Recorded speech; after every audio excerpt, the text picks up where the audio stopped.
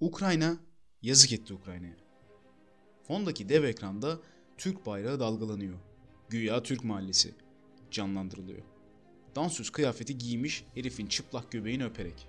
Kahkahalar eşliğinde baklavayla, börekle, kebapla, nargileyle türkülerimizle, asrın liderimizin bıyığıyla alay ediyor. Kafasında püsküllü fes var. Bu arkadaş Ukrayna Cumhurbaşkanı. Komedyen. Eskiden komedi kulübü ismiyle bu fotoğrafını gördüğünüz sahne şovlarını yapıyordu. 2015 yılında televizyona transfer oldu. Hem kendisinin hem ülkesinin kaderi değişti. Halkın Hizmetkarı isimli televizyon dizisinde başrol oynadı.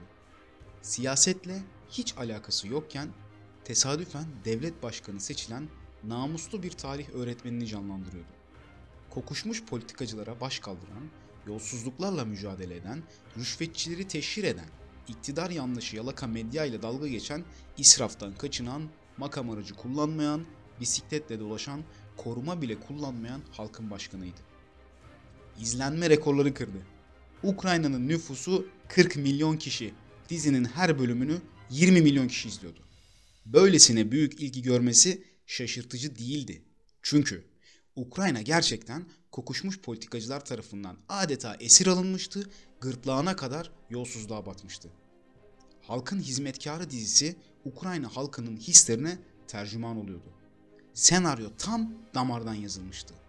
2018 Halkın Hizmetkarı ismiyle parti kuruldu. Partinin resmi kuruluş dilekçesini Halkın Hizmetkarı dizisinin prodüksiyon şirketi vermişti.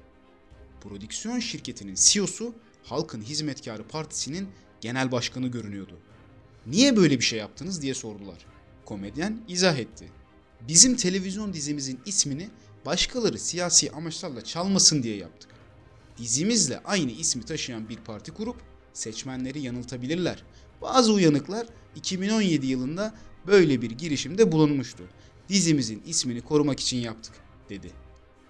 Bu izahat makul bulundu. Kimse yadırgamadı. 2019 yılbaşı gecesi. Saatler tam 24'ü gösterdiğinde Ukrayna'daki bütün televizyon kanalları Ukrayna Devlet Başkanı Poroshenko'nun geleneksel yeni yıl kutlamasını yayınlayacaktı. Bütün televizyon kanalları yayınladı. Biri hariç. Halkın Hizmetkarı dizisinin yayınladığı bir artı bir televizyon kanalı saatler tam 24'ü gösterdiğinde komedinin konuşmasını yayınladı. Komedyen gerçekten devlet başkanlığına adaylığını açıkladı. Bir artı bir televizyon kanalının sahibi Ukrayna'nın en karanlık oligarklarından Igor Kolomoyski'ydi. Banka, petrol doğalgaz, maden, hava yolu şirketi, medya sahibiydi. Ukrayna'nın yanı sıra İsrail ve Kıbrıs Rum kesimi vatandaşıydı. İmparatorluğunu İsviçre'den yönetiyor, İsrail'de ve ABD'de yaşıyordu.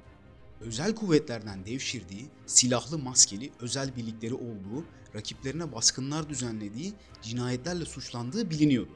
Konuklarına gözdağı vermek için ofisindeki dev akvaryumda köpek balıkları beslediği biliniyordu. 5 milyar dolarlık hortumlama yaptığı için Ukrayna'daki bankasına devlet tarafından el konulmuştu. Turuncu devrimi gerçekleştiren kadroların hamisiydi. Yushchenko, Timoshenko gibi siyasilerin finansörüydü.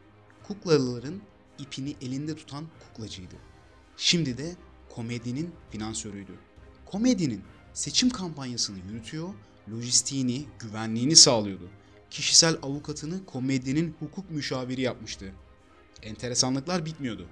Geçimini televizyon ekranlarından sağlayan, televizyon ekranları sayesinde devlet başkanlığına aday olan komedyen rakipleriyle televizyon tartışmalarına çıkmıyordu. Seçim kampanyası boyunca televizyondan kaçmıştı.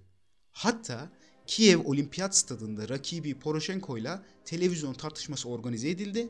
70 bin seyirci geldi. Tribünler doldu. Televizyonlar canlı yayına başladı. Komedyen gelmedi. Habire televizyon reklamı veriliyor, habire sosyal medya reklamı veriliyor, habire caddelere afişleri asılıyor ama rakipleriyle asla bir araya gelmiyordu. Tek kişilik şov yapıyordu. Daha enteresanı seçim kampanyası boyunca röportaj vermedi. Asla basın toplantısı düzenlemedi. Gazeteciler kendisine bir tek soru bile soramadılar. Habire tek taraflı olarak kendisi konuştu.